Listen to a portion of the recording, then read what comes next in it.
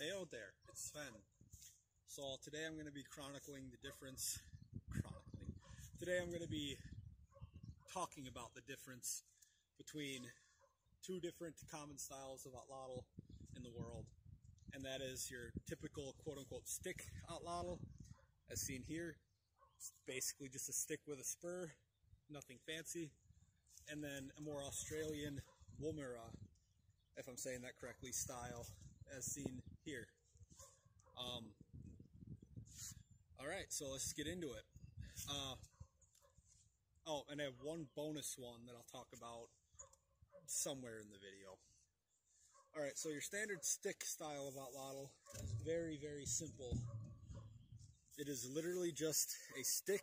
This one is way fancier than it has to be with a spur at the end. Um, out in the wild with very, very few tools, just a knife really or a sharp rock, you can make one of these in a matter of minutes um, with the right uh, with the right branch um, skill set. Uh, a Woomera is a lot more complex, as you can see. Um, generally, the spur is a separate entity um, that's attached to the, the main wood part, and that doesn't have to be the case. Um, it doesn't have to be the case for the stick atlatl as well. The stick atlatl can also have um, the spur just be part of the wood that the body's made out of. This one is an exception uh, because that is a separate spur. But um, generally, it's a separate spur. And traditionally, these were held on by Spinifex resin and um, kangaroo sinew. And then on the bottom, not always, but often, you can have a piece of quartz, or in this case, flint. Uh, I, think I believe it's called a tula, which is uh, attached to the handle as sort of a multi-purpose tool. Um, while stick-out atlatls, as I said, they're basically just a stick. So, the, what are the advantages and disadvantages of both? Why would you choose one over the other? Why would you make one over the other, etc.? Well, let's get into that. So, the main advantage to a stick style atlatl is it's very dedicated to hunting and it's very easy to make. Uh, as I said, you can go out in the woods with no tools and make a stick style atlatl in a matter of minutes. If you find the right branch, you can make it in under a minute. Um, when you put a little bit more work into it, like this one, so it actually has some shape and it's clean and accurate, um, this would be a really good dedicated hunter. Like, for example, you go out into the woods, not far from where you live, you know where you are, you're not going to get lost, uh, and your only purpose is I'm trying to hunt X and X game, or X and Y game, whatever. Um, while a Woomera is far more multifaceted in its function, um, which makes it a better tool for long distance scouting, um, multi week, day, month journeys, um, potentially into unfamiliar territory where what you carry, the weight, the size, all of that really matters. Because stick atlatl, as I've said, is a dedicated hunting tool or recreation. Um, the only real purpose to this, if you carry it, is to hunt. Um, meanwhile, the Woomera has far more functions. Uh, the most striking one is, again, they don't all have it, but they often do have this tula on the back, which is, I mean, you can tell how that would be a useful tool. You can use it as sort of a hand adze to chop wood. Uh, you can use it to scrape wood. Um, you can use the side to cut plant matter, like a small knife. Um, you can even use the front as a small knife. You can use it to skin the game that you kill. Um, and in modern times, you can even take, uh, or I guess in ancient times too, with iron pyrite. But in modern times, you can carry a flint and steel. Well, you can carry just the steel and use it as your flint and steel striker. Um, so already there, you have wood chopping, you have skin, uh, game skinning, cleaning, um, hide processing, um, plant cutting. Like you can cut a plant pretty easily with it, like I just did there. Um, all those functions are now a fire starting, if I didn't say that, are all encapsulated in just this one edition. But there's more. Um, you also have this big, wide, flat, dished body, which is obviously useful for many, many reasons. Currently, I'm out of season for it, so I can't pick berries, but say I was out in the woods picking uh, pistachios. Um, they grow from a local tree here. No, they don't. Uh, this bag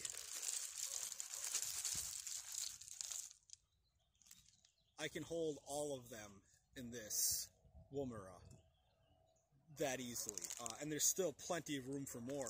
I could bunch these up to one side, and I could still probably fit another bag of pistachios on this. Excuse the plane. Uh, so you can see, you can go out in the woods with this, not dedicated hunting, or maybe you're scouting or hunting long range. And as you walk, you can pick berries, put it on here, go back to camp. Uh, you can pick up any other tools, rocks if you need to, or flint, anything is basically a small basket. Um, you can dam the ends with clay, and you can use this to hold water. Um, that you can, it, it's a little weird to carry it with them, but you can carry water with it. You can drink water, you can leave it under a, a drip and let it fill with water so you can easily drink from that dripping water source. Very, very useful. Um, now I gotta figure out what to do with these pistachios to continue my lecture. Give me one second. Alrighty, now that I've uh, emptied out the pistachios, I can use it as a demonstration tool again. So yeah, as you can see, oh, and of course, if you have a boat, uh, you can use this as a makeshift paddle. Uh, it's wide enough, it works pretty well. It's obviously not super comfortable compared to a regular paddle, but heck, if you're on a boat, it's better than your hand. Um, as you can see, very, very multifunctional.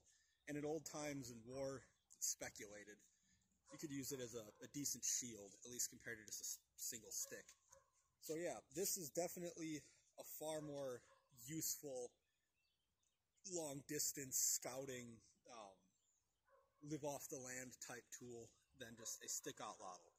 Um, Obviously, some of these modifications you can make to a regular stick atlatl.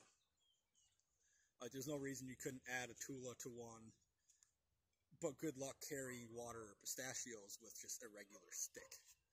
Um, but that brings me into my third style, which is one that I'm actively developing right now, and that is kind of a hybrid, as seen here. Um, I'll talk about this after I talk about spears, though. So, with your regular stick atlatl, the type of spear you use, this can be, you can use both. There's no reason you can't use one spear in the other. But generally, stick atlatl styles, you use fletched spears. That is, you have the spear and that it has fletchings. You might have to excuse another plane soon. Um, yeah, I'm going to pause for a second, which will be no time for you. And we're back. All right, so it gave me time to grab my spear. So, in this case, the only spear I have with is a more Australian-inspired one, as seen here, where it's a long straight stick that's been fire straightened and no fletchings. That's not to say Australians never use fletchings. I don't know if they did or not um, offhand. And that's not to say that no other culture that traditionally did use fletchings didn't use fletchings. But um, generally, the Australian style Woomera, their people practice without fletchings. And the useful aspect of that is that you can easily make this in the bush. Find a long straight stick, cut it, carve it down. Uh, the heads were traditionally, um, oftentimes, just hardened or fire hardened wood. I'll preface a little more on that later. Um, and then you just have a stick. You're used to throwing it. It's about this one's about eight feet longish, uh, and you know it still works just as fine as any other spear. Though you need to be used to throwing spears without fletching, since you don't have the, those training wheels, I guess. Um, the stick style atlatl, generally speaking, due to its more dedicated hunting nature and you know you'll go back to camp and grab more spears if you need. Um, that's speculation, by the way. Uh, they tend to have fletchings on them, so they fly straighter. They're more um, consistent. Uh, as I said, they're kind of like training wheels. Um, like you can shoot arrows out of a bow without uh, fletchings to a certain range. Atlatls work better though without fletchings than arrows do. But anyway, to get back on the the preface, the wood that was often used by Australians uh, to make spears generally is far denser than the wood you'll find in Eurasia or North America. Um, this wood here is not exactly that hard. Um, it's not that heavy. Uh, so it's not going to be the best actual spear material unless you're in Australia or Africa or some other place where you have very, very heavy woods. Um, you might not want to use just a wooden tip because chances are it might not penetrate as well or fire hardened wooden tip or anything like that. In which case you could easily use antler or stone or anything like that. But um, yeah, a lot of Australian spears were just wood. Again, very easy to make while way out in the bush um, with few tools. You can make one of these with just a tula on the back of your spear, or on the back of your woomera. Um, not so easy with just um, a regular stick out model. But that brings me into a quick motion, uh, quick bonus that I'm not going to stick too long on, and that is a style I'm developing of sort of a hybrid where you have sort of the stick aspect, like here. Um, and the reason I've made it more stick-like is because one drawback with the Woomera is that its wide, uh, curved body does produce a lot of wind resistance. You can hear it. Um, that's often not a problem because you can't swing this as quickly as you could without the spear anyway. So when you accelerate a spear to speed, your hand isn't moving as quickly and you don't notice the wind resistance enough, uh, as much, but it is still noticeable. Um, the stick atlatl is obviously far, far more streamlined and will cut through the air a lot more smoothly and easily. Um, so to preserve that smooth uh, cutting through the air uh, motion, I've left this part solid, but I've cut a deep channel here that you can use to carry water or again pistachios or whatever else you gather mix paint do whatever you want with and you have you, you still preserve the function to a lesser degree it's a compromise as the Woomera while still having sort of the dedicated hunter aspect of a stick atlatl. On top of that, I plan on adding a Tula to this one too. So I have that uh, that multi-tool uh, at the base of it that I can use for everything I stated before. Um, on a future one, I'd like to carve a hole here that I can use for straightening spear staffs as a, a spear wrench. So that way, if I'm out in the bush and I lose all my spears, I can cut another stick. Uh, I can straighten it with the fire using that spear wrench. And that's ingrained in the tool that I've made here, um, that I'm already carrying anyway. Uh, and also, what I'd like to do is potentially add flint flakes to the side that I can then use as a knife. I can literally hold it like this and use it as a saw. I can use it like you would any other uh, um, composite flint knife. Um, so this is a project I'm working on. Uh, I'll give more updates on this in future videos, but this is not the main topic of this video. So now I'm just going to do a little throwing with them because may as well uh, show that off. Who wants to see atlatls without seeing them thrown? Um, I have a box set out there, right there. It's way farther than I'd ever want to throw at an animal, but uh, if it was a bigger animal, I wouldn't mind. So let's see how good I do. Uh, again, this is a pretty light wood, so it won't it won't fly nearly as well as uh, the ones you might see in Australia. All right, stick-out atlatl. No fletchings. So I don't currently have a spear that has fletchings. All of mine broke. Am I in shot?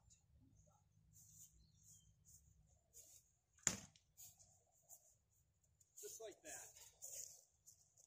I said, pretty, pretty good. despite not having fletchings. Hopefully my body didn't block the shot. Alright, secondly I'll throw with the Woomera.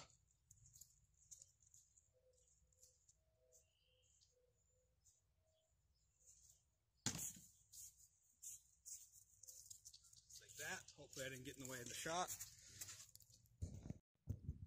So I want to quickly say before this next throw that yes, I mentioned before that the Woomera has more air resistance, which leads to a less powerful striking force when you hit, but that doesn't make it weak. Uh, on that last throw you just saw, I hit the box and it hit the stick behind that was holding the box, one of the sticks, and it broke it in half. So um, it's not something to be messed with. It still is very powerful. Anyway, now I'll be throwing with my hybrid. Hybrid prototype.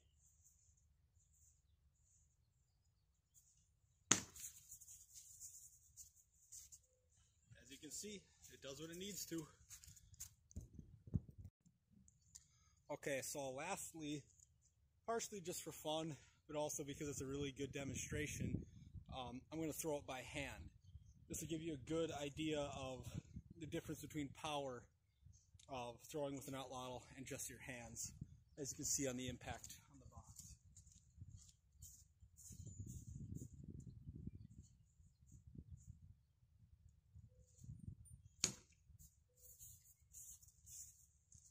As you can see, I hit, but it didn't knock the box down. It didn't fling it all over the place. Uh, it just hit and made a point and uh, it was a lot more stressful on my arm to throw it like that versus the atlatl, where I'm sure you could see the atlatl was a much straighter flight path. I didn't have to throw up as much. Um, I hit with a lot more power, enough to knock the box down the other times. So that more or less concludes this. Um, with any luck, uh, when spring is more in session, um, I'll be able to. It's been a really warm winter this year uh, I'll be able to make more spears and do a, a better comparison with more throws, but it's getting dark. Um, and yeah, know.